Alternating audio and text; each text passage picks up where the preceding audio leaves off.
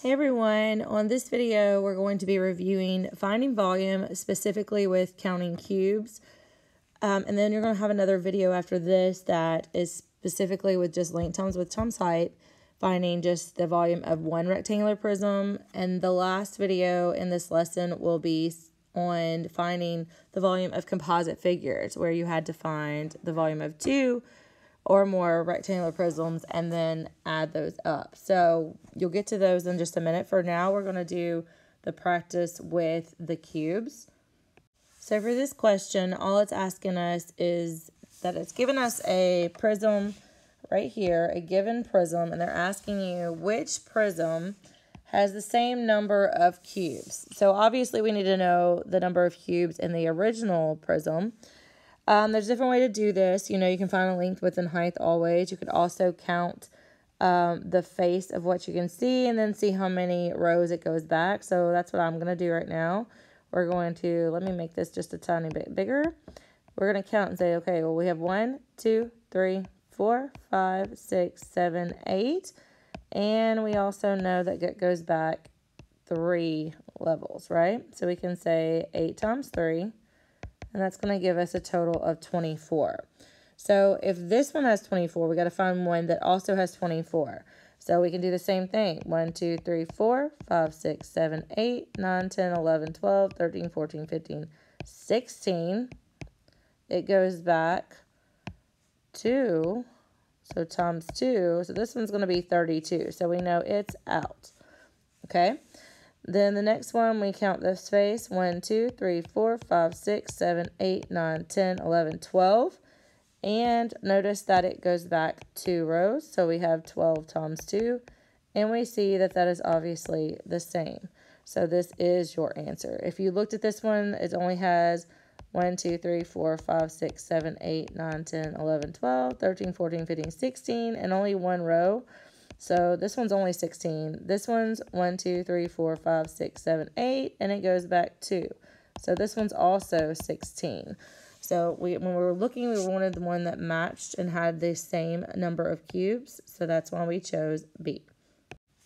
All right, this next question is asking you. It says Dane and Scarlett are stacking cubes. They stack their cubes in different ways. If Dane and Scarlett put their stacks together, what's the total volume? So we're going to underline total volume here. Um, so that just means we need to count each one, figure out how much each one has, and then add those volumes together. So on here, one thing we need to figure out on this one though, we gotta know there's some, maybe you can't see, but there's they're not just floating in air. We talked about that. They can't just be, uh, you know, up in the air without something underneath them. So we know if there's one cube here and one cube here, there's gotta be one underneath them. So that would be one, two, and then three, and then four underneath. So four right there, five, six, seven, eight. So this figure, this um, right here, has a volume of eight cubes. Um, this one, you can pretty much see everything, so we just have to count. 1, 2, 3, 4, 5, 6, 7, 8, 9, 10, 11, 12, 13, 14, 15, 16, 17, and 18. All right, and then remember it said total volume. So all we have to do for this one is add it up. So 8 plus 18 and that's going to give us a total of 26 cubic units. So our answer would be B on that one. All right, on this question, um, this is the one you have to choose several different answers. So for each one of these rectangular prisms, we've got to decide what the volume is for it and mark that correct answer. We know that if it just has, if we're looking at this shape right here, it it's one cubic unit, so that one's kind of the easy one. We just mark it.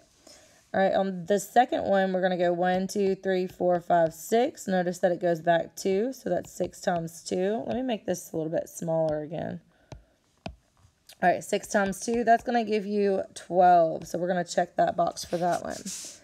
On the next one, we have 1, 2, 3, 4, 5, 6, 7, 8, 9. And it goes back 3, so we have 9 times 3, which is going to give you 27. So we're going to check this box for that one.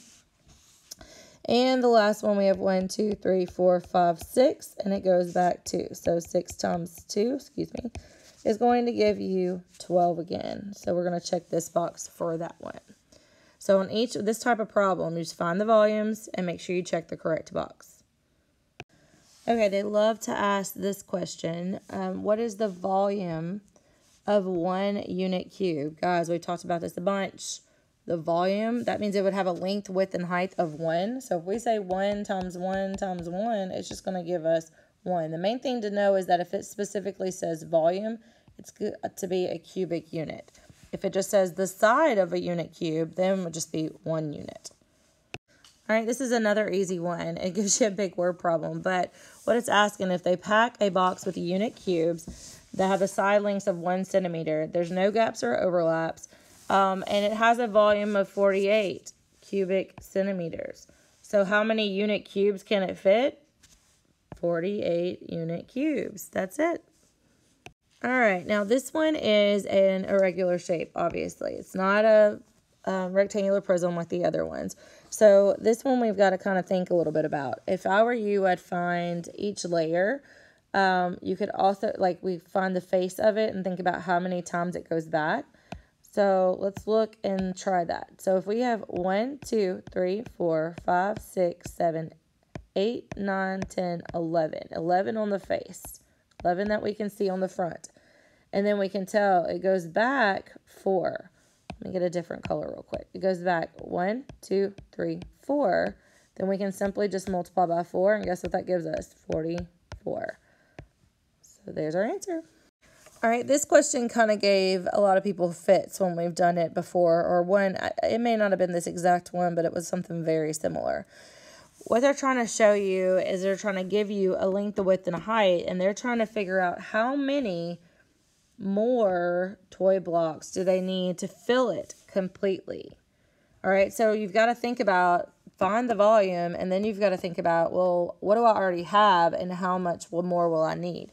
So if I look at this um, the base of it. I can say, okay, we'll have one, two, three, four, and uh, going across. That could be like my length.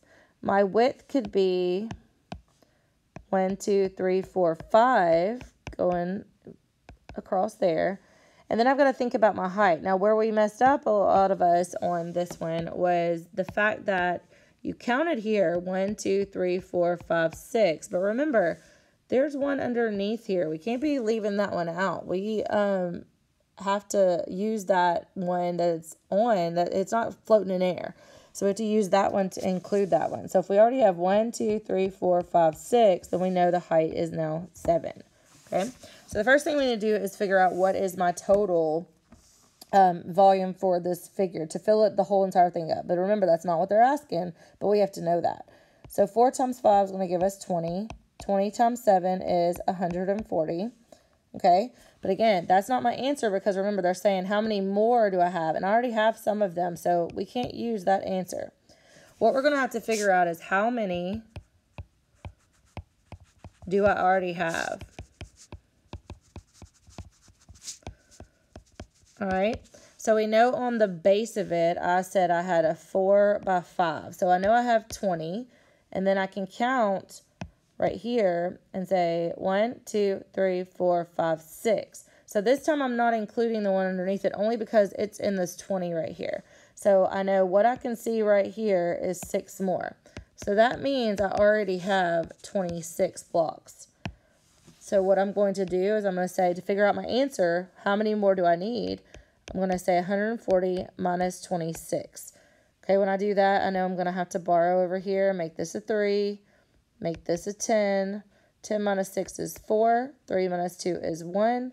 And then I bring down my 1. So 114 is what we have left to fill that box completely. So 114 is your final answer on that. All right, this one's just asking for what is the difference. And we know that the difference means subtract, right? So we're going to have to find the volumes of these two and figure out what the difference by subtracting is between them. So first thing I'm going to do is find the volume of figure 1. So I'm going to say 1, 2, 3, 4, 5, 6, 7, 8, 9, 10, 11, 12. All right, and then that it goes back 2. So this figure is going to be 12 times 2, so it is 24. All right, on the next one, I have 1, 2, 3, 4, 5, 6, 7, 8, 9, 10, 11, 12, 13, 14, 15, 16, 17, 18, and it goes back 3. So this one is 18 times 3. Now, if you can't do that in your head, we know we can go off to the side, do some scratch work. 3 times 8 is 24. 3 times 1 is 3, plus 2 is 5. So that is 54. And remember, what we said was we got to find the difference. So we're going to say 54 minus 24, and that's going to leave us with 30. So our difference between the two is 30 cubic centimeters. All right, that's the last one for counting cubes. I hope I've given you a variety to understand how these questions could be asked and um, how to kind of manipulate what you're given. So that's it for this video. The next video, again, will be length times width times height, then the last one on composite figures, and then you will have a Mastery Connect assignment on all three videos. There'll be a, it's 15 questions, five from each video.